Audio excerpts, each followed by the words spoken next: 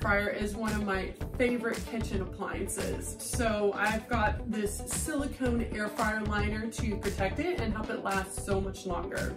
It also just really helps it stay cleaner. It's very convenient. What can happen with these air fryers with a lot of use is that the paint starts to come off on this.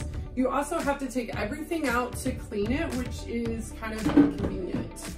With this liner, you can just place this in here, and this is so much quicker and easier to clean, saving you a lot of time and effort.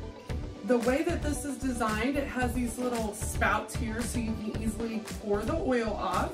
It also has a little rim that goes all the way around, which helps your oil to have somewhere to pool.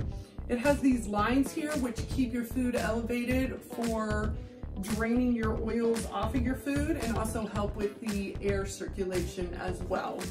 This is really easy to clean. It's dishwasher safe. It is made out of a BPA-free silicone material.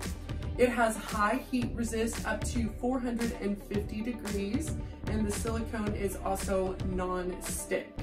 This is definitely something to help improve the life of your air fryer and just simplify things for you in the kitchen whenever you are cooking.